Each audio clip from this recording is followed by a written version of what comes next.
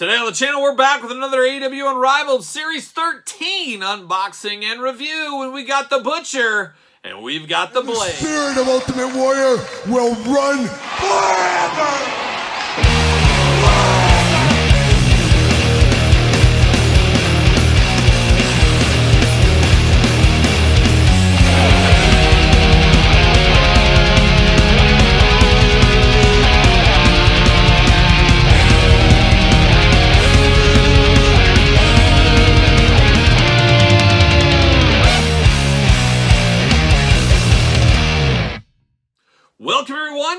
Kyle here, and welcome back to the channel for another AEW Unrivaled Series 13 unboxing and review. And today on the channel from Unrivaled Series 13, we got the Butcher and we've got the Blade. But for all your Butcher and the Blade needs and a whole lot more, make sure you're hitting up Ringside Collectibles. Use discount code Kyle. Save yourself 10%. Got to get a deal out there. And of course, we're going to do this unboxing like we do all the other unboxings on the channel. We're going to take a look at the packaging. We're going to talk about it. We're going to unbox it. We're going to talk about it. We're going to see where it goes from there. We're going to kick it off with a little Butch over here. The Butcher. And of course, uh, I used to work in grocery stores for a, a large part of my life. Uh, you know, going to high school and through college and stuff. And the only department I never worked in was the meat department. So I never got to be a butcher, unfortunately. But maybe in a retirement life or maybe in another life I'll get to do that. But the Butch, looking good right here. I'm here for a Butch. I don't care if it's Bushwhacker Butch or if it's Butch Butch from AEW. I'm here for the Butcher. Love it. He is a bigger figure. We need more big figures in AEW. He is a big dude, and I think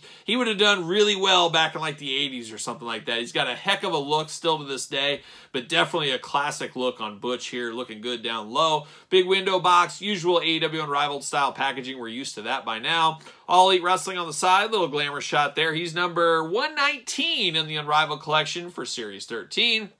All Elite Wrestling on this side. Then on the back of the package, big cross sell down low. A little bit of jibber jabber as well. Let's see what it says about our old friend, Butch. And you got Butch with a little autograph looking good right there.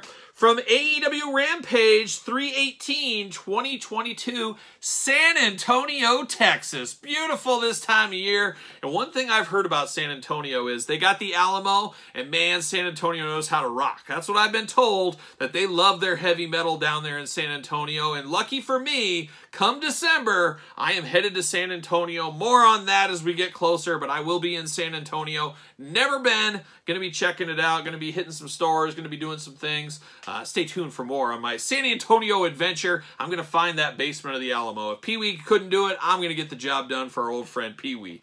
Uh, but looking good right here. I like what I see. Of course, we've got Sting, Darby Allin, Wardlow, Danhausen, the Blade, and the Bunny in the set. And we do know the Bunny and Danhausen are the rare chase additions. So a little bit harder to find for those two, as we do know. But Butch, all day long, we're getting the Butch out right there. And there it is. See you later.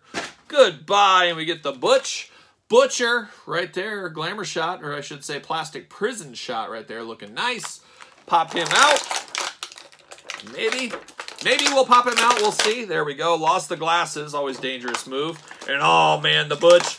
He's got two fists of fury. All day long, he's getting these two fists for me. There's no doubt about it there. See you later. Goodbye. All right, let's get down to this one. This is wild. This is wild. And I think... Hasn't he shaved his head or something like that since then? I'm pretty sure he has. So this is a little bit out of date, but I do like the looks on this one. It is wild and crazy. Like Wild and Crazy Kids from Nickelodeon back in the day. There you go. But he has got some big old shades going here. Absolutely love these big old shades. Definitely here for this. A little bit rubbery, a little bit gummy, of course. Reminds you of Orange Cassidy's maybe uh, that we've had in the past, but definitely some new coloring to that. And then the fist. I was talking about that. I'm here for that. What's it say? He's got he's got some lettering on his fist. What message is he trying to send us with his fist?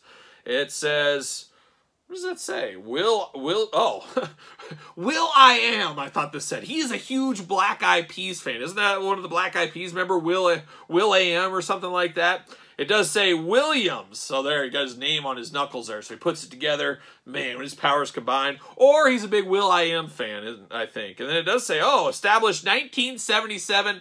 Oh, 1977. A beautiful year in 77. I wasn't alive for it, but if I was, I would say, oh man, I'm living my best life in 77. That's what I'd be doing.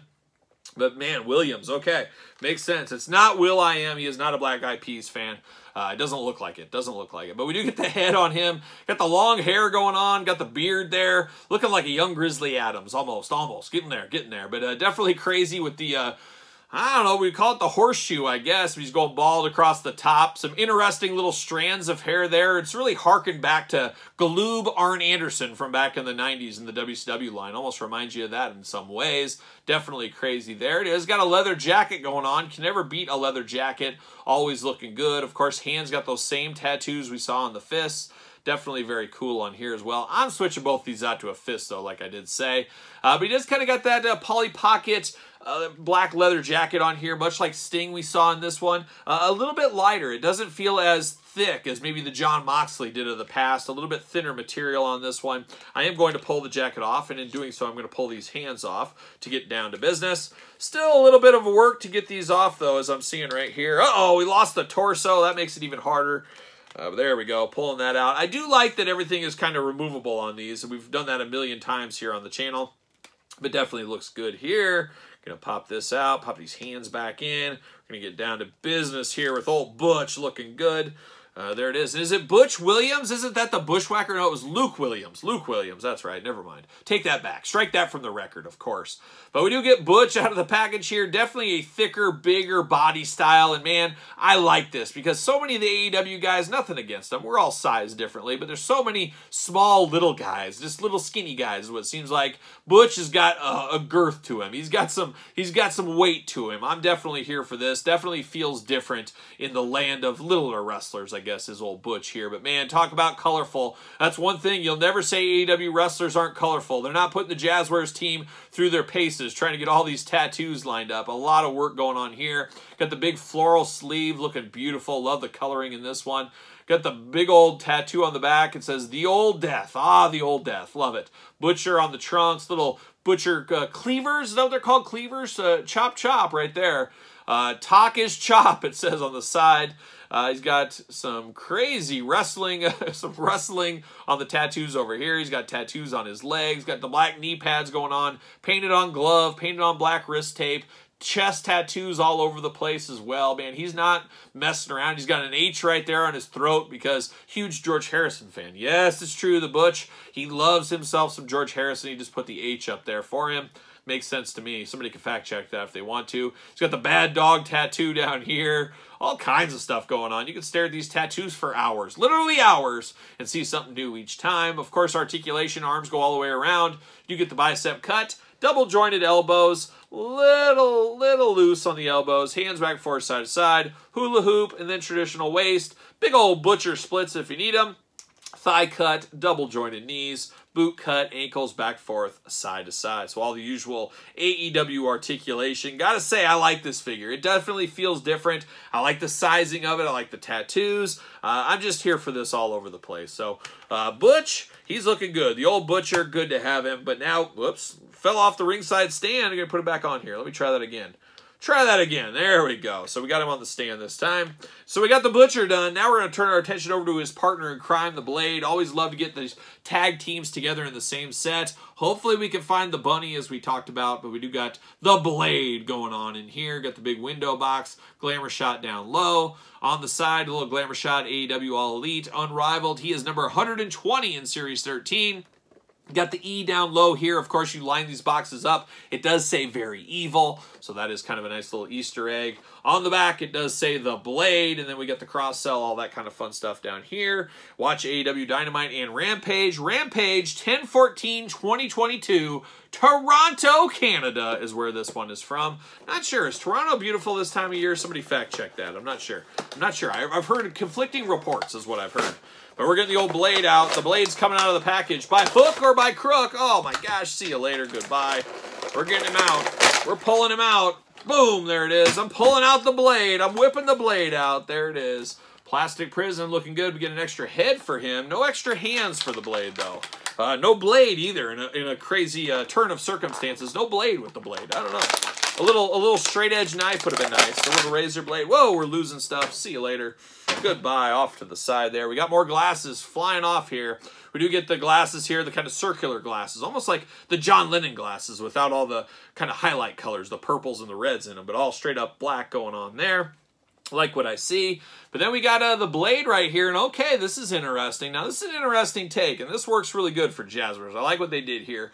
Of course, this is the way I'm going to display him. He's got his COVID mask on. Of course, 2022, we were still fighting COVID. I guess you're still fighting COVID to this day and age, but they did include him. I think this is the first wrestler to ever include his COVID mask. So shout out to the Blade here for wearing his COVID mask. He's trying to take his health very seriously. He doesn't want to get sick, that's for sure. But he does come with his COVID mask on here. Uh, maybe it's not a COVID mask, but it's fun to pretend, right? It's fun to pretend, but we do get the mask going on. Of course, you put the glasses on here, kind of completes the look as we do know, kind of his, I don't know, sinister look as he comes to the ring in a lot of ways. I do like that we get this way, and I like that it's sculpted in. The mask is sculpted in there. I think that works really good, but if this isn't for you, you want a more wrestling version, you get a straight up plain head right here. Now, I will say you got the beard going on, you got two eyes, a nose, two ears, looking like a human, but I'm not 100% sure I could pull this out of a lineup. Somebody handed me this, said, who is this? Uh, I don't think I could tell you it's the Blade. Maybe I'm just not familiar enough. I don't look deep into his face enough. That could be a possibility there